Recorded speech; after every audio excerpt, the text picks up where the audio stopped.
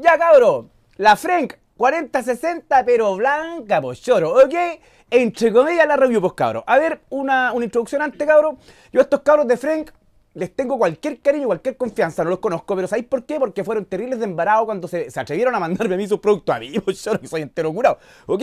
Pero me dijeron, tío, prueba esta cuestión porque es una piscola.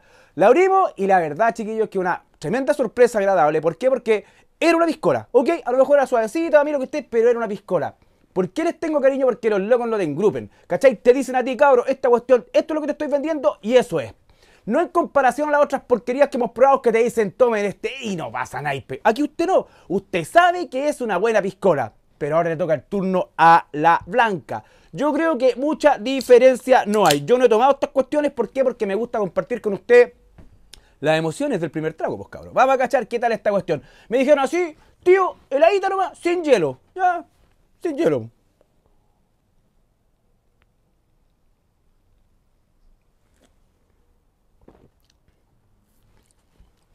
Una vez más, pues chiquillos. La verdad es que hablar de Frank, chiquillos, eh, tiene que ver más con otra cosa que con lo que hacen. Eh, no te desilusionan.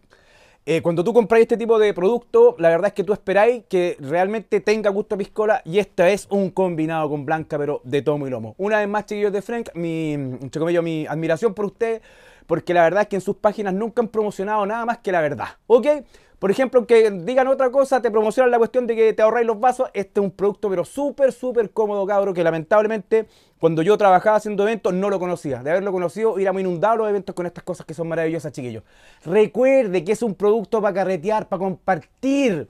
No los chimbombos que nos gustan a nosotros, que es paquear, pero botado como zapato. La verdad, cabro, ¿es recomendable? Sí. Ahora lo dejo a su criterio, chiquillos. Como les digo, si yo hubiera estado trabajando en eventos, esta cuestión hubiera inundado a toda la gente con esto, porque la verdad es que es un producto súper, súper, súper cómodo. Y una vez más, es lo que dice el etiquetado.